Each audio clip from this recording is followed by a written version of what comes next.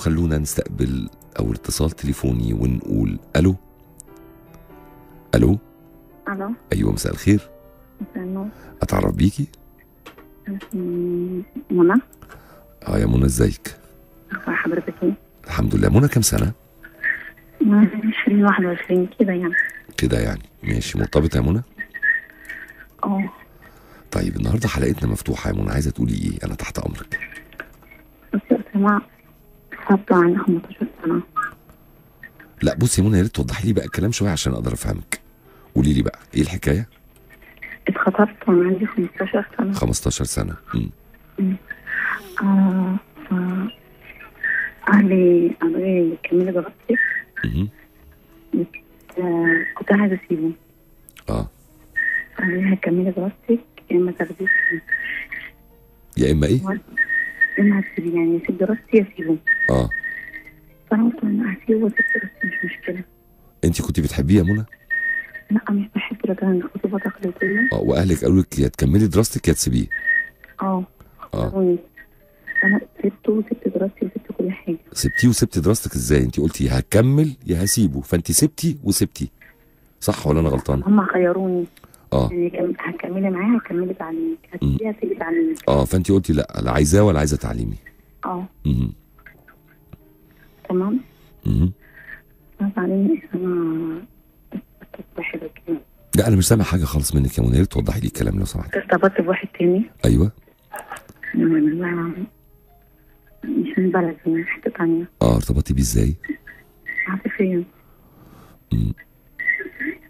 مرة واثنين وثلاثة وأنا معاه.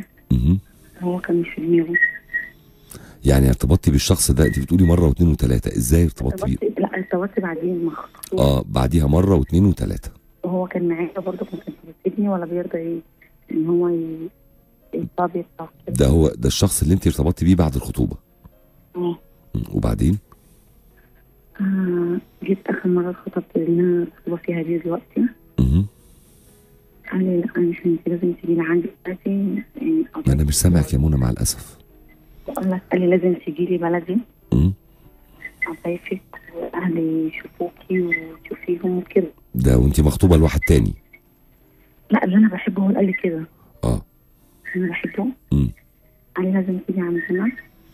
وضيفك وأهلي يشوفوكي وتقابلك في العيشة. أنا ممكن أخطبك. مهم. قلت له أوكي ما عنديش مانع ورحتي له البلد. بالفعل سافرت له أنا من القاهرة ورحت بلده. مهم. تمام. رحت آه، رحنا عند صاحبه ما كانش أهله ولا كان في نيتي خالص. تمام. أنا مش سامع يا منى وفي صوت عندك طالع مش عارف الصوت ده طالع منين. طب كده. امم اتفضلي. فرحت له. فم- صاحبه ما كانش في اهله ولا كان في حد فيه آه طلع عامل لك كمين وجابك لحد البيت. آه في حد عنده. امم المهم حصل ما كانش جاب كده. مم. مرة واتنين وتلاتة لا منى أنا مش سامع المكالمة خالص. يعني يا ريت يعني تحاولي توضحي لي يا نقفل مثلا ونحاول أتصل بيكي تاني.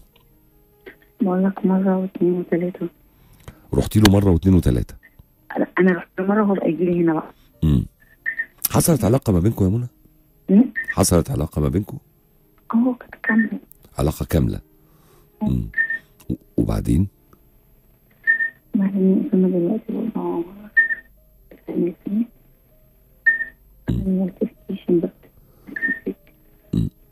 دلوقتي خطيبي امم اللي معايا امم بيقول لي تيجي عند امي ولازم تزور امي ولازم تشوف امي ده خطيبك اللي معاكي؟ آه. آه. وخطيبك طبعا مش عارف أي حاجة مش عارف إن أنت في علاقة تانية مع واحد تاني وفي علاقة لا، بينكم. خطيبي طبعا. محترم مم. وحاجة تانية خالص. ب... طبعا وما بتحبيهوش برضه. خالص يا عايز انت لو طلبت سوا ممكن تجيلي وبتحبي أنت الإنسان التاني اللي ضحك عليكي؟ اللي عارف يا أسامة ممكن هو كويس لا بيهني بيشتمني بيزعقني بيعمل فيا كل حاجة مم. طيب بصي يا بصي يا منى آه صعب جدا يعني آه أنا أنا بس عايز أوصل لك ال- اللي أنا اللي في قلبي يعني اللي عايز أقوله لك مش عارف إزاي أوصله لك ولكن آه كتير جدا بنلاقي ناس قدامها مخدة نظيفة وسرير نظيف وأوضة نظيفة وتنزل تنام على الرصيف. كتير جدا بنلاقي ناس قدامها أكلة نظيفة وشهية وحلوة ومطبوخة حلو وغاوية ترمرم ولما تيجي تقول لك في ناس كده لما نقعد نسمعهم يقول لك إيه؟ أنا لو قدامي ديك رومي محمر أضرب سندوتشين سجق بلدي من الشارع. يعني ربنا باعت لك حاجة نظيفة كويسة. إنسان بيحبك وبيصونك وهيخطبك ويتستتك ويتجوزك وي... ويعلي من قيمتك و... وي... ويكون معاكي بيت وأسرة وانت عمالة تروحي للي بيشتمك وبيزعق لك وبيضربك وبيجيبك لحد بلدهم عشان يعمل معاكي علاقة مش مظبوطة بتلوث سمعتك وتلوث آه، تاريخك وبتخليكي آه، تمارسي حاجة ربنا سبحانه وتعالى ما يرضاش عنها.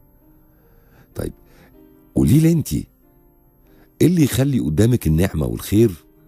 وعمالة تبصي على الحاجات اللي مش كويسة. أنا بس مش عايز أقول يعني أشبه تشبيهات لأن في الراديو ده بيخش بيوت الناس.